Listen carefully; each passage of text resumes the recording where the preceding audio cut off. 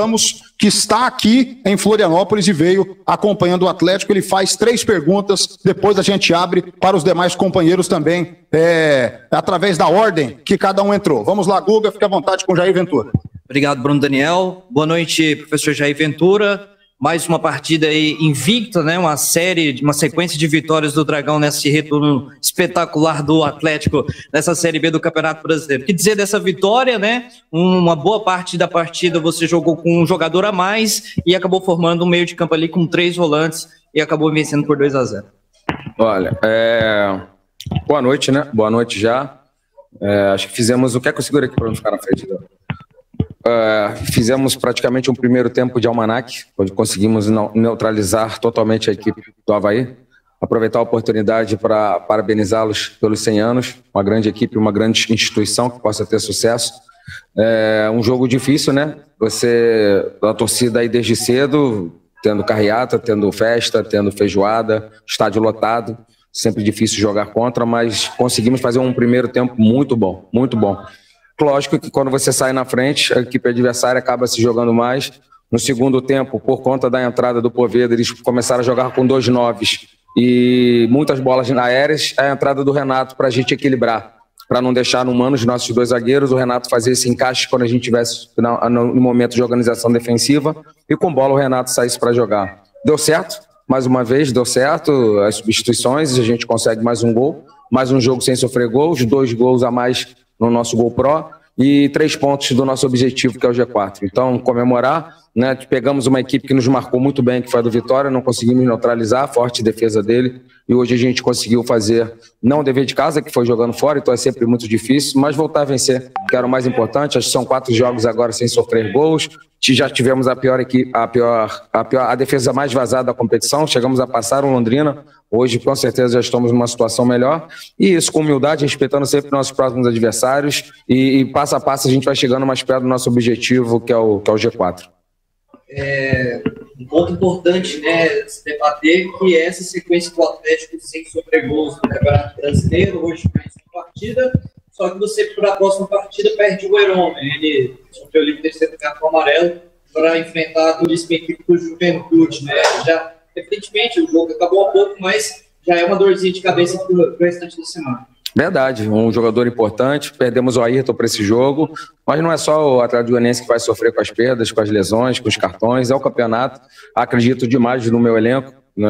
Vale ressaltar o Renato, né? Um jogador que vinha sendo pouco utilizado nos últimos jogos, hoje entrou, nos ajudou, e porque eu trato todos os jogadores da mesma maneira. Porque os meninos da base, os jogadores mais experientes, todos têm o mesmo tratamento, todos trabalham os mesmos comportamentos, vocês assistem os meus treinos, os nossos treinos, na verdade, e, e, e, por causa disso, todos aqueles que entram já sabem o que fazer. Então, nós temos aí o Gasal, temos o Alix, temos jogadores que possam estar suprindo essa, essa ausência de um jogador importante. E projetando já essa sequência né, de Série B, invictos, vários jogos sem sofrer gols, é, é por aí no espírito né, que o Atlético tem que seguir adiante nessa competição, né? De um time que estava desacreditado na primeira parte, uma defesa que era vazada todo o jogo para uma, hoje uma defesa quase que impenetrável e invicta tantos jogos nessa parte final do campeonato? Olha, certeza, muito, muito bem observado. Era uma coisa que nos incomodava, sofrer gol todos os jogos, todos os jogos a gente teve que sair atrás, né? Uh, foi assim Sampaio, foi assim Tombense, e a gente tendo que buscar, tendo que buscar. Conseguimos neutralizar, mérito total dos meus atletas que, que, que, que assimilaram bem, e a gente conseguiu encaixar isso muito importante para que a gente parasse de sangrar, parasse de sofrer tantos gols e continuasse fazendo gols, porque os nossos gols iam sair de maneira naturais. Então, assim, a gente fica feliz de, de ter minimizado esses tantos gols sofridos e que a gente possa continuar nessa pegada, que com certeza com, com, com essa performance a gente fica mais próximo do nosso objetivo. Pessoal de Goiânia, agora, o Jair Ventura à disposição de vocês, podem fazer as perguntas. Boa noite, Jair. Felipe André da Rádio Bandeirantes. E Jair, o que a gente viu ao longo do segundo tempo foi o Atlético vencendo com um jogador a mais, mas é, com certa dificuldade para conseguir criar, né? Eu queria te perguntar o, o motivo da sua escolha por ter é, optado atuar com três volantes durante grande parte do segundo tempo e também a entrada do Alex, do Alex né? Que você fez uma linha de três zagueiros, três volantes. Que, é, por que da, do, da sua escolha por essas opções? Olha, vamos lá. Primeiro, a entrada do Renato no intervalo nos pegou de surpresa por conta da, da entrada do Poveda, né? eles passaram a jogar com, com dois camisas nove. E se você deixar no mano, provavelmente a gente eu estava aqui dando explicação pela derrota, não pela vitória, da maneira que seria o ideal, que sem sofrer. Mas na vida, meu amigo, se você não sofrer, é dificilmente você vai conseguir ganhar todos os jogos sem, sem ter dificuldades, né? Tivemos dificuldade no segundo tempo, é verdade, mas somos quatro jogos sem perder, estamos aí o líder do retorno, estamos aí a três pontos da zona de classificação. Desculpa se não foi o, o melhor o melhor segundo tempo que a gente fez, peço, peço perdão se não fizemos um grande segundo tempo, mas fico feliz de, de ter ganho um adversário tão difícil, comemorando seis anos de 2 a 0. E Jair, é, o que a gente viu foi um, um, Atlético completando quatro jogos sem sofrer gols, você mantendo esse sistema defensivo aí com o Bruno Tubarão de lateral, com o Luiz Felipe dando uma, uma experiência maior na zaga. O que, que você pode falar sobre esse trabalho feito em cima do sistema defensivo do Atlético que vem dando resultados? Poxa, que bom, né? Uma, uma, uma coisa boa dentro dessa, desses tantos jogos sem perder, desses tantos jogos sem invencibilidade, desse jogo tão difícil hoje, onde a gente venceu por 2 a 0 Que bom. Ainda bem que tem, tem, tem coisas boas também. Feliz, feliz de ter parado de sofrer tantos gols, feliz de estar tantos jogos de invencibilidade, feliz da nossa equipe estar marcando e feliz de estarmos cada vez mais próximos do nosso objetivo. Ô, Jair, é, até já que os companheiros não estão perguntando, é, se, você me se você me permite, como é que você vê esse seu trabalho, né? Porque assim, você pega o Atlético é, numa situação complicada dentro, dentro da Série B, você consegue uma sequência de cinco bons resultados, quatro vitórias, um empate, recoloca o Atlético dentro do G4. O trabalho tá valendo ter saído de casa, como você gostava de destacar?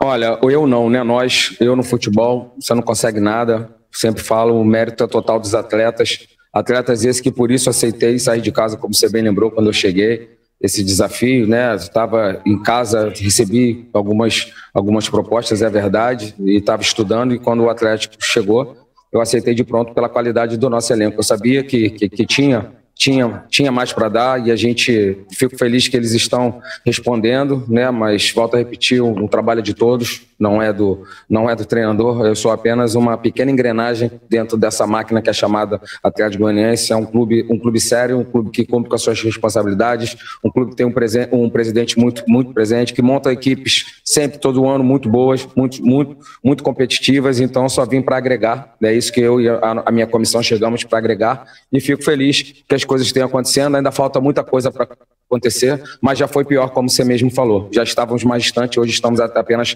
três pontos do nosso principal objetivo.